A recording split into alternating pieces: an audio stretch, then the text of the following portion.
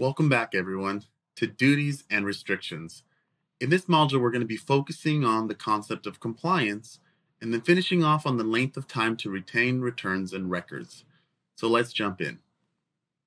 When it comes to compliance, practitioner supervisor responsibilities to ensure compliance involve that an individual who has principal authority for overseeing a firm's federal tax practice must take reasonable steps to ensure that the firm has adequate procedures to ensure compliance with Circular 230.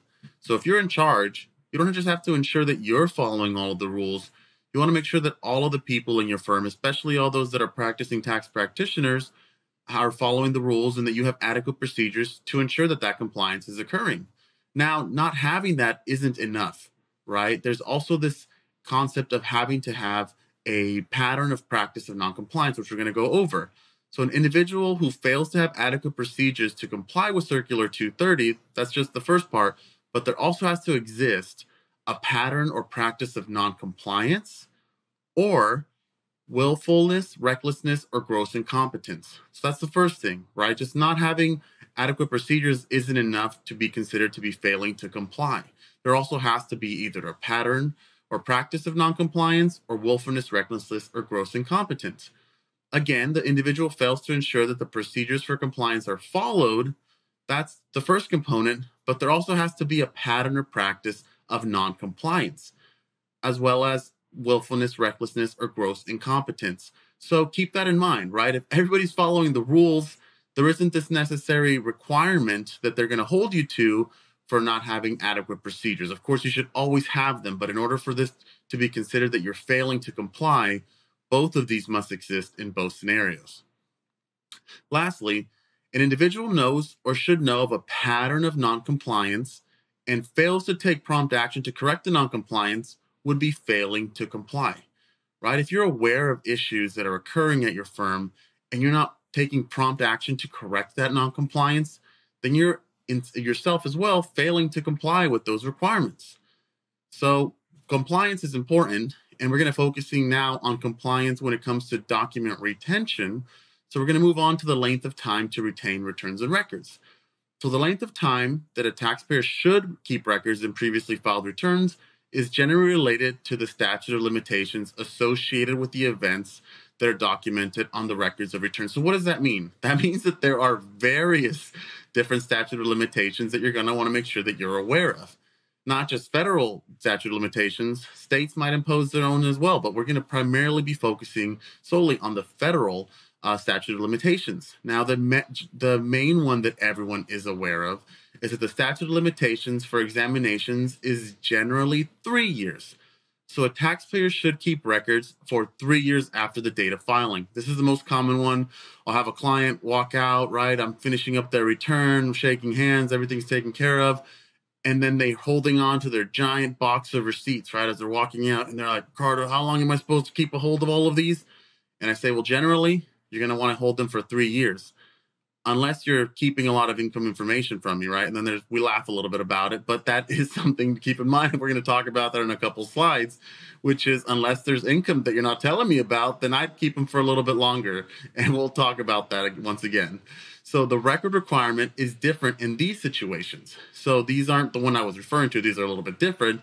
But if a taxpayer filed a claim for credit or refund after filing a return, the taxpayer should keep records for the later of three years from the date of filing, which is what we just referenced, or two years after the date of payment. So, whichever one of these is the later of, is when that statute of limitations will lapse. Now, this is something that keep in mind could come up in your exam. If a taxpayer claims a loss of worthless securities or a bad debt deduction, the taxpayer should retain records for seven years. So if you're working on a problem, you see a scenario and they throw in worthless securities or bad debt deduction, you want to keep that in mind that that is an exception to the general rule of three years. Now, this is the scenario I was talking about that I always joke around with clients, right? How long should I keep this giant box?